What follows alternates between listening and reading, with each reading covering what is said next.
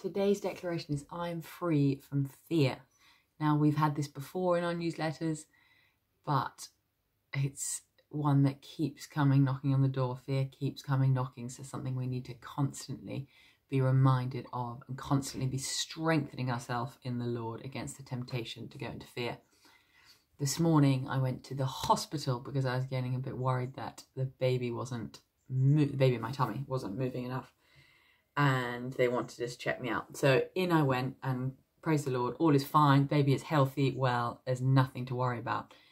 But it definitely got me thinking about worry and fear because I was trying to fight fear this morning and I was looking at all sorts of verses around fear, writing them down, and trying to speak truth over myself. And so today is going to be a different sort of a vlog, and I'm just going to invite you to close your eyes sit back and let this whole bunch of scripture around fear wash over you and cleanse your mind and your heart and set you free from fear. And the funny thing about fear is it's often about things that never even happen. So, an acronym for fear is false evidence appearing real. F E A R, false evidence appearing real. Uh, for example, for me this morning, it was, oh gosh, is the baby moving enough? Ah! And my mind was wanting to go and begin to meditate on things that could be wrong or go wrong.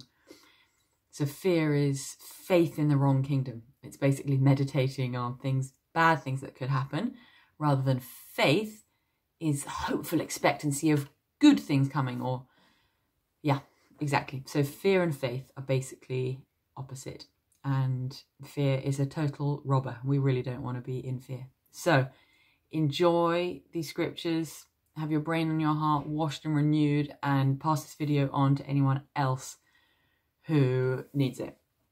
Isaiah 26 3. You will keep him in perfect peace, whose mind is stayed on you, because he trusts in you. Psalm 112 7. He will not be afraid of evil tidings. His heart is steadfast, trusting in the Lord. Isaiah 41:10 Fear not, for I am with you. Do not be dismayed, for I am your God. I will strengthen you. Yes, I will help you. I will uphold you with my righteous right hand. Psalm 27 1. The Lord is my light and my salvation. Whom shall I fear? The Lord is the strength of my life. Of whom shall I be afraid? Isaiah 54 17. No weapon formed against you shall prosper, and every tongue which rises against you in judgment